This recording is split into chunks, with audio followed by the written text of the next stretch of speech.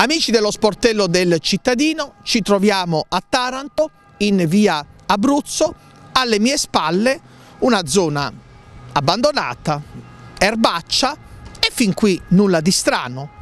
La realtà è che, udite udite, al di sotto del terreno da cui stiamo trasmettendo ci sono importanti resti archeologici.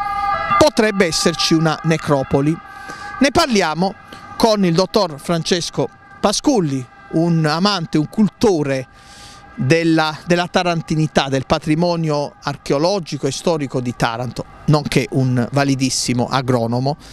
Mentre si procedeva, lo dico volgarmente in maniera non tecnica, al taglio dell'erba, a un certo punto si verifica uno sprofondamento, si apre una piccola voragine e dai rilievi fatti risulta che al di sotto ci sarebbero resti archeologici.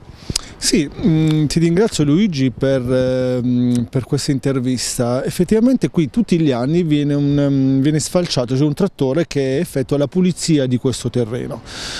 Ho notato però che l'anno scorso ehm, una parte del terreno ha ceduto, cioè mh, mm, si è creato un vero e proprio buco. Ho immediatamente fotografato ed inviato al Ministero dei Beni Culturali con una richiesta di intervento di sopralluogo per poter verificare eventuali preesistenze ed effettivamente attraverso una gentile risposta da parte del Ministero da sopralluoghi effettuati pare che questa possa essere una necropoli.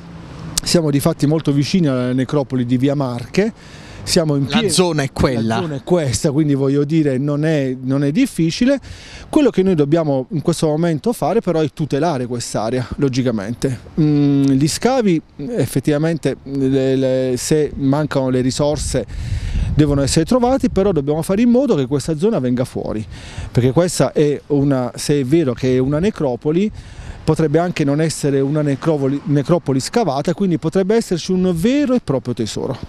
Un, al momento però è tutto fermo, forse un problema di fondi per, per, realizzare appunto gli scavi come si deve? Sicuramente è un, è un, problema di fondi, però è anche un problema a mio avviso di abbandono, perché a seguito della mia segnalazione sicuramente l'area doveva essere eh, tutelata, recintata, invece continuiamo a vedere che l'area è completamente abbandonata e quindi è alla mercé di tutti e questo dobbiamo assolutamente evitare. Io dico Luigi, in quale altra città con un, una cosa del genere già sicuramente avrebbero fatto gli scavi, incominciati gli scavi e sarebbe uscita la necropoli. Qui invece in totale abbandono, quindi poi considerando che aperto, essendosi aperto il buco, la pioggia entra all'interno, quindi stiamo comunque eh, perdendo quello che potrebbe essere recuperato.